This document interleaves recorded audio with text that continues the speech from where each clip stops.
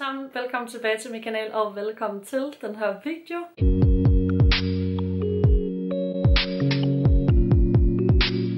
Vi er simpelthen nået ind i oktober måned, hvilket betyder, at jeg i dag kommer til at lave min måneds indkøb fra september. Jeg synes alligevel, det er en lille smule vildt at tænke på, hvor lang tid jeg har kørt den her serie, og det stadigvæk er noget, jeg får spørgsmål om, jeg ikke har lyst til at lave. Jeg synes bare, det er overvældende, at folk stadig synes, det er spændende, fordi jeg blev lidt træt af det. Og det gjorde nok, fordi jeg synes ikke rigtig, at jeg sådan gav så meget inspiration, som jeg måske føler, andre gør. Og det er måske også bare fordi, jeg sådan tit ikke rigtig laver ordentlig mad. Jeg vil rigtig gerne begynde på det, og jeg siger det nærmest i hver af mine måneds indkøb. Nu tager jeg mig sammen. Og det er bare svært for mig. Så jeg føler også lidt, at det her det er jo en realistisk måde for mig at vise jer, hvad jeg køber på en måned og bruger mine penge på. Men jeg er bare mega sådan taknemmelig over, jeg er stadig så med. Jeg der trykker ind på den her video lige nu. Det betyder så meget for mig. Og det vil betyde ekstra meget for mig, hvis I havde lyst til at gå lige ned under og like den her video lige nu og her. Det her det er jo en serie, hvor jeg tager jer med på en hel måned og viser jer, hvad jeg sådan har købt ind og hvad jeg har brugt af penge og fortæller til sidst, hvor mange penge jeg har brugt i alt. Jeg tænker, at de fleste af jer, der trykker ind på den her video, ved det godt. Men inden jeg sådan snakker alt for meget, så synes jeg ærligt talt bare, at vi skal komme i gang med månedens indkøb fra september måned. Det skulle blive mandag den 4. september. Jeg har været et smuttur i 365. Jeg vil sige, at jeg ikke rigtig købt ind til at lave noget specielt. Jeg har bare købt nogle ting ind, som jeg følte, jeg sådan kunne få noget ud af her de næste par dage. Der var simpelthen økologiske æg på tilbud til 22 kroner, hvilket jeg synes er billigt. Nektariner til en 10'er, synes jeg også er meget billigt. Tomater til en 10'er. Billigt, billigt, billigt. Økoæbler til en 10'er. Billigt. Jeg købte faktisk de her små snackpeber, som jeg faktisk også tror kostede en 10'er. I princippet kan det måske mere betale sig at købe de store, men jeg har egentlig bare lyst til at skære dem ud i sådan nogle små snacks. Popcorn skal jeg bare have i mit hjem. Der var kærgårdssmør til 12 kroner, så jeg har købt to af de her let. Vi skal jo spare, hvor vi kan. Ostehaps til en 10'er, fordi det er bare ærligt talt min guilty pleasure. Jeg har købt nogle middagsfrikadeller, fordi jeg har ret meget rugbrød liggende i fryseren, som jeg tænker, at vi skal til at udrydde lidt. Der var simpelthen øh, nødder på tilbud til en 10'er, så jeg købte en helt almindelig cashewnødder og sådan en med sugar, honey and salt cashewnødder. Generelt måske, fordi cashewnødder er ret dyre normalt, så det tænker jeg var meget hyggeligt at købe. Jeg købte de her mini riskiks med paprika, også mere til sådan en snack. Jeg har købt en let mayonnaise, fordi den kostede 12 kroner. Igen, vi skal jo spare, hvor man kan, også på kalorier og fedt. Skraldeposer, fordi det gider jeg simpelthen ikke at løbe tør for, så jeg ved faktisk ikke, hvad det kostede. Måske 9 kroner. To gange tun i vand, fordi at det er mega lækkert at spise til frokost. Det her, det var altså, hvad jeg fik skramlet sammen i dag, og jeg brugte altså 202 kroner. Det føler jeg faktisk er rimelig okay. Og så tænker jeg bare, at vi ses lige om lidt igen til næste indkøb. I dag er det simpelthen onsdag den 13. Jeg har været nede at handle. Jeg har faktisk igen i dag handlet i Coop, Coop, hvad fuck det hedder, 365. Fordi ærligt talt, jeg synes bare, at den, der ligger ved mig, har ekstremt mange gode tilbud. Og jeg sad forleden og kiggede sådan både på Lidl, Rema, Netto, og der var bare ikke noget, der inspirerede mig til noget som helst. Og det var der faktisk, da jeg tjekkede der, selvom jeg ved, der er mange, der synes, den er sådan lidt nasty en form for sådan en fakta-version. Jeg kan godt lide den. Jeg har handlet ind, og jeg har fået en masse gode tilbud. Jeg har faktisk i dag prøvet at handle ret stort ind, fordi jeg kunne godt tænke mig at få styr på mit liv. Føler tit, jeg siger. Jeg har købt tomater. Jeg har faktisk lyst til at lave sådan en hjemmelavet tomatsuppe, Men nu begynder det at blive lidt køligt. Jeg har købt noget hakket kylling, og skal jeg være helt ærlig, så er jeg lidt i tvivl om, hvad fanden det her har kostet. Okay, det kostede 55. Jeg troede faktisk, det kostede 25, hvilket var en sindssyg pris. Men jeg har både set mange gode hakket kylling i sådan lasagne, kyllingefrikadeller og så videre. Så jeg følte, at øh, det var sådan ret lækkert at have, og så kunne man ligesom dele den kæmpe op. Jeg har købt nogle kartofler, økologiske. Jeg har simpelthen både købt persille og purløg, fordi jeg sad og kiggede på en masse opskrifter i går, og jeg synes bare, at øh, mange steder kan man bruge det som sådan lidt, lidt ekstra lækkert. Og så var de jo heller ikke sådan super dyre.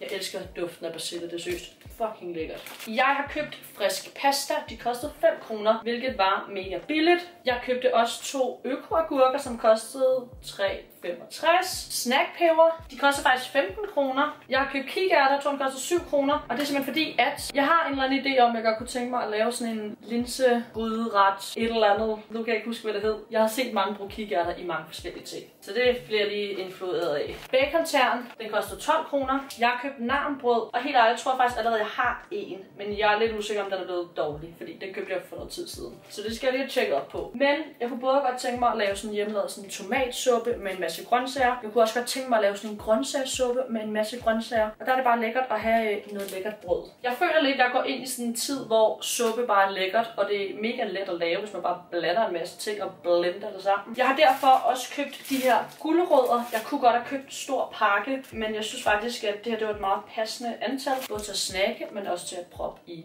madretter. Det koster 10 kroner. Så har jeg købt løg, fordi det føler jeg, at øh, jeg manglede. Så købte jeg simpelthen de her øh, gramsboller, som er sat ned til 15 kroner. Jeg tænkte egentlig bare, at jeg ville fryse dem ned, så har man lidt lækkert i weekenden. Avocado, jeg tror det koster 16 kroner. Ostehaps, fordi det koster 5 kroner, og det, det er meget hyggeligt. Jeg har købt en mozzarella. Jeg har købt noget ost. Så har jeg simpelthen for første gang i mit liv købt øh, banan, skalotteløg. Øh, jeg har aldrig købt dem før, jeg tror aldrig, jeg har smagt dem. Men igen, jeg har gemt så mange TikTok-opskrifter, og i går så jeg en, som var super let. Jeg kan ikke huske, hvad det var lige nu, men der brugte de altså dem her, og jeg tænkte, det kunne også være, at man kunne blande dem i alt muligt og få en eller anden lækker smag. Og så koster de ikke mere end 12 kroner. Jeg har købt den her oksespejepølse med fyldig smag, og det er simpelthen fordi, jeg har tænkt mig at bruge den i en pastaret. Jeg ville faktisk have købt sådan noget lidt spicy, men jeg kunne ikke rigtig lige finde noget, så nu prøver vi med det her. Og det er simpelthen bare for at prøve noget nyt. Jeg har også for første gang i mit liv købt øh, grønne linser. Jeg ville have købt røde, men det var ud udsolgt, og igen, jeg kan selv ikke huske sådan noget dal-agtigt. Jeg kunne godt tænke mig at prøve at lave som også sådan en gryderet med en masse mums i, og linser af sunde. Og de her holder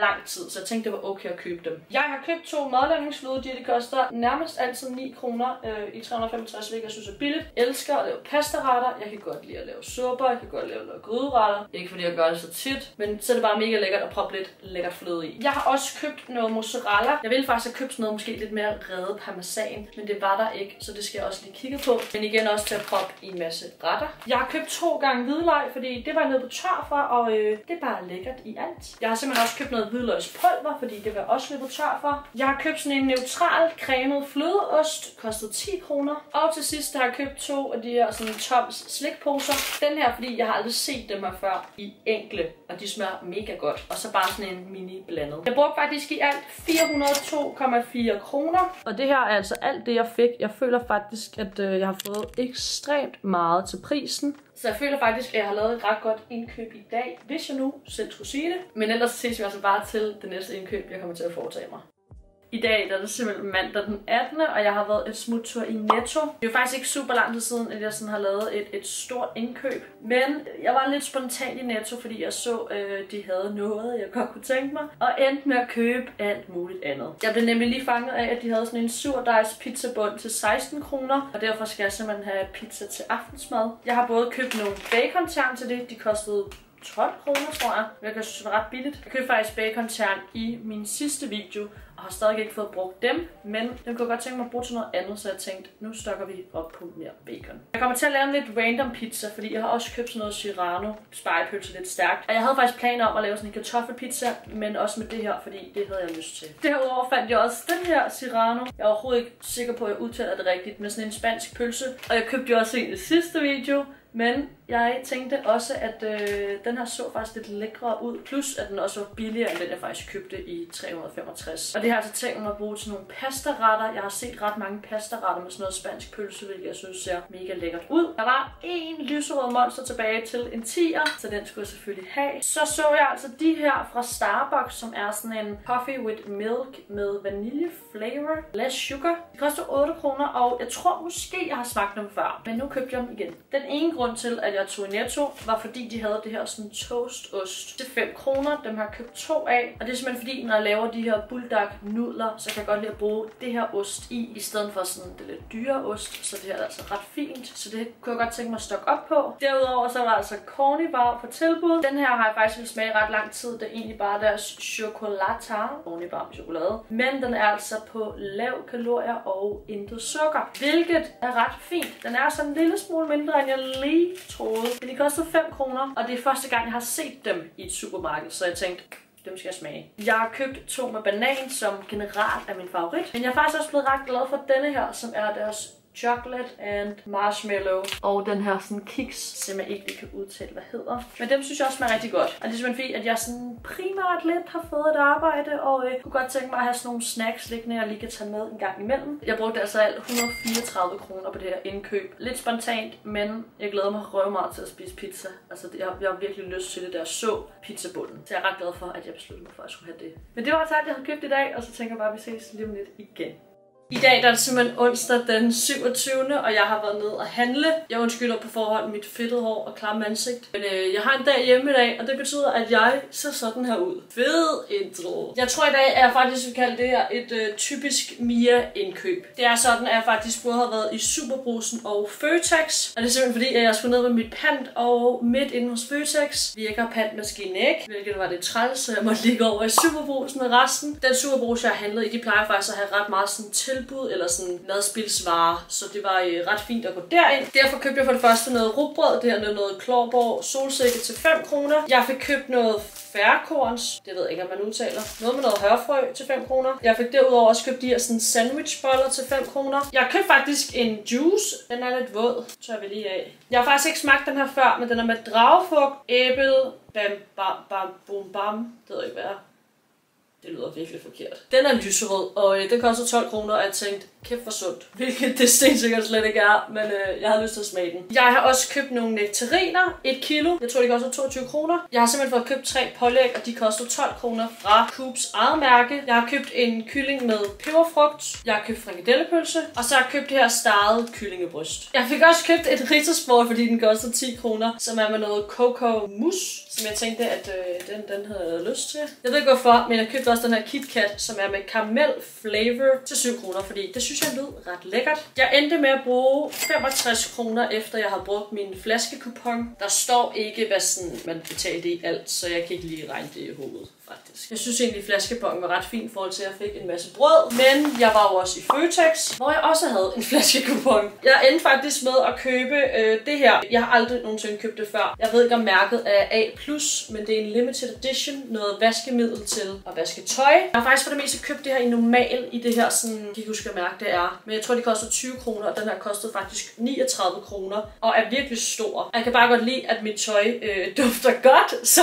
den købte jeg en lille smule spontant. Jeg har købt to poser chips fra Kims, og det har jeg simpelthen, fordi de koster 12 kroner, og jeg ved, at øh, jeg måske kommer til at have lidt tømmermænd på søndag, og der er det bare mega rart at have nogle chips. Derudover skal jeg også være alene, eller jeg har ikke nogen planer fredag, så der kan man også lige spise lidt. To pakker lurbak, fordi de koster 12 kroner. Det er jo med at købe smør, når der er tilbud. Jeg tog lige random den her kopnudler ned i min kurv. Jeg har ikke set dem før eller smagt dem, men den, den koster 5 kroner. Igen, mere indkøb. En agurk, fordi det har jeg nærmest altid i mit hjem. Derudover så har jeg købt flere boller på tilbud. Jeg ville faktisk have købt noget toastbrød, fordi jeg kunne godt lide at lave toast. Men jeg følte faktisk, at øh, de her de var ret fine til at lave sådan en morgenmads toastbolle, man kan tage med på vejen. Koster 13 kroner. Jeg har købt et kilo danske kartofler, økologiske. Igen, det er sådan noget, jeg altid bare har i mit hjem. Jeg havde to irriterende pantflasker, der var ikke nogen, der gad at tage.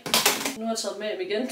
Jeg har derudover købt lidt mere pålæg, fordi de havde nemlig noget landskinke, som jeg synes er mega lækkert til 12 kroner. Så har jeg fået stokket op på noget pålæg. Jeg har købt en ost. Jeg køber faktisk ret tit den her fra Cheesy's. Den er tit øh, på tilbud til 25 kroner. Jeg har købt to Rosa Haribo til en 10'er. Typisk mig. Jeg har simpelthen købt to af de her Buko blødost. En med pikant og en naturlig. Også de koster 12 kroner. Plejer jeg også at stokke op på, når de er på tilbud. Derudover købte jeg to Red Bull til en 10'er. Den her uden sukker. Som jeg snakkede lidt om i min vlog, så har jeg fået et arbejde, og jeg er der kun 5 timer cirka, så det er lidt meget at tage en helt monster med, så jeg plejer, eller de sidste gange har jeg taget en Red Bull med. Men det er generelt bare fordi, at jeg, det kan godt tage mig lang tid at drikke en monster, fordi jeg sådan går og hygger lidt med den. Jeg har også købt tomater, og til sidst endte jeg faktisk med at købe fire corny bar, som var på tilbud til 6 kroner. Jeg har i dag købt nogle, jeg sådan ikke har smagt så mange gange. Jeg tror i hvert fald ikke, jeg har smagt den her før. Den er med peanut and chocolate. Tænkte måske, den var lidt sneakersagtig. Jeg har også købt den med white chocolate, og den har jeg smagt en gang. Jeg synes faktisk, den var ret god. Og så købte jeg to af de her dark and whites, som jeg tror, jeg har smagt i sådan den lyse version, som jeg virkelig godt kan lide. Jeg tror bare generelt, at jeg plejer at købe dem med banan, så nogle gange kan jeg også godt lide at smage noget andet. I Føtex endte jeg simpelthen med...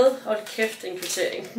endte jeg simpelthen med at bruge 211 kroner, efter jeg havde brugt min flaskebong. Som jeg lige hurtigt kan regne sammen, så tror jeg, at jeg havde 121 kroner, måske, for dog til hovedregn. Men jeg endte med at bruge det her i alt fra min egen lomme i dag på det, jeg har købt. Jeg synes faktisk, jeg har fået ret meget. Jeg har fået en masse pålæg, noget smør og noget flødeost. Smørost, som jeg sådan rigtig godt kan lide have i køleskab. Både tomater og kartofler er også noget, jeg altid plejer at have, samt agurken. Derudover fik jeg altså sådan fire pakker brød, hvilket jeg synes er ret billigt. Og og selvfølgelig også den der kæmpe en, som selvfølgelig var lidt dyrere end nogle af de andre ting. Men jeg føler faktisk, at jeg har fået en masse ting med i dag. Og det jeg sådan mener med et typisk Mia-indkøb, det er nok fordi, det er jo ikke fordi man kigger på det her og tænker, kæft du skal have noget lækkert mad. Men det er ting, jeg tit køber for at stokke op og, og på den måde leve for.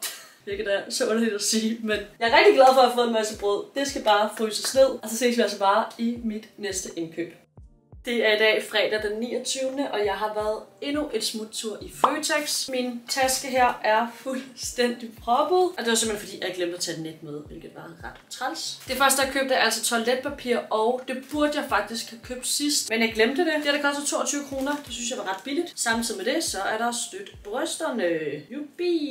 I dag er det fredag, og øh, jeg kan ikke huske, hvornår jeg overhovedet sidst har været alene en fredag. Eller decideret ikke haft planer. Jeg har haft utroligt travlt her i september, så i dag har jeg ikke nogen planer, og jeg har bare brug for at være mig. Derfor har jeg købt en frysepizza, fordi at jeg kunne ikke rigtig finde ud af, hvad jeg har lyst til. Og så gik jeg bare lidt efter noget, der var billigt. Den kostede 15 kroner. Det her det er sådan en med mozzarella, stærk salami. Og så tænker jeg måske at proppe lidt ekstra sådan ost på, og noget ekstra spicy. Og gøre den sådan lidt lækker, fordi det, det kunne jeg faktisk godt have lyst til. Og det, ja, Mia dag. Derfor har jeg faktisk også blandet slik. Det er så lang tid siden, jeg har blandet selv slik. Og det er simpelthen fordi, der ikke rigtig ligger noget i nærheden af mig andet end Føtex. I dag havde de det til 8 kroner, og øh, jeg, har, jeg har blandet for 50 kroner. Hvilket lyder lidt meget, synes jeg, men seriøst, hvis jeg skulle have købt Haribo-poser, var det blevet 40 kroner. Og der, der er alt, værd godt kan lide her. Der var altså disse her på tilbud til en 10'er, og lidt sjovt, fordi den anden Føtex, jeg var i, kostede de 12 kroner for hvad, to dage siden, hvilket ingen mening giver. Men jeg købte en tusalat og en skinkesalat 10 kroner. Jeg har derudover også købt en ost, fordi den kostede 20 kroner, men i onsdags kostede den 25. Jeg ved ikke, om der har været en ny tilbudsavis, det kan også være, men det, der, det, det er dumt af mig, at jeg ikke har tjekket det. Så jeg synes, det var billigt 20 kroner, så jeg tænkte lige, at jeg ville købe en til. Så har jeg også købt to Rittersport. De kostede 11 kroner. Jeg tror faktisk, at det her det er sådan generelt er min favorit. Jeg kan godt lide chokolade og sådan kiks sammen. Men jeg har også set de her fra Rittersport rundt på TikTok, som er med Smarties, og øh, jeg havde lyst til at prøve den i hvid chokolade, så det skal jeg gøre i dag for der skal ikke mangle noget som helst. Derudover så skal jeg til en fødselsdag i morgen. Jeg har købt en gave, men jeg tænkte, at jeg vil proppe en lille kurv med de her, fordi det kan min veninde godt lide. Fordi min taske ikke er større end det her, så har jeg lige købt seks ciders. Jeg skal nok have nogle flere. Det skal jeg lige se. Jeg har købt to mokai af de her Pop Light, som er 60% mindre kalorier, hvilket er meget smart. Jeg tror ikke, jeg har smagt dem her før. Jeg har købt to af de her Pink Lemonade, som også er færre kalorier. Så købte jeg en mokai hyldeblomst og en Shaker Juicy. De koster faktisk alle sammen 12 kroner, tror jeg det var. Hvilket er, er sådan okay billigt. Jeg ville godt have haft nogle flere, men øh, der, der var seriøst ikke plads i, i min taske faktisk. Derudover kom jeg altså af med 257 kroner, hvilket jeg synes er ret dyrt i forhold til, hvad jeg har fået. Faktisk virkelig meget. Men sådan er det. det, det jeg skal bare have en god dag i dag. Så det var altså alt, jeg havde købt i dag, og alt, jeg havde købt i september måned. Det er sådan, at jeg i september måned altså har brugt 1.271 kroner, hvilket jeg sådan føler faktisk er sådan meget tilpas. Jeg har prøvet at handle ind til, at jeg ligesom skulle lave nogle lækre retter, det er ikke gået super godt, men jeg prøvede. Det gav det en chance, og jeg skal bare blive lidt bedre. Det kunne altså betyde ekstremt meget for mig, hvis I havde lyst til at gå lige ned under. læg den her emoji, hvis I godt kunne tænke jer at blive ved med at lave den her serie. Det er i hvert fald altid bare sådan lidt rart at se, om der stadigvæk er nogen, der synes, det er grineren at følge med. Fordi som sagt, jeg synes også, det har været lidt svært at sådan blive ved, fordi jeg ikke rigtig selv føler, at jeg faktisk giver den inspiration, som jeg måske i mit hoved tænker, jeg gerne vil give. Men jeg måske bare lidt mere giver et, et realistisk billede af, hvor meget mit liv nogle gange sejler. Så det i hvert fald betydet ekstremt meget for mig, hvis I har lyst til at gøre det. Så ved jeg i hvert fald, hvordan jeg lige skal gribe tingene an. Derudover så håber jeg bare, at I har det mega godt, og så ses vi altså bare i min næste video. Hej hej!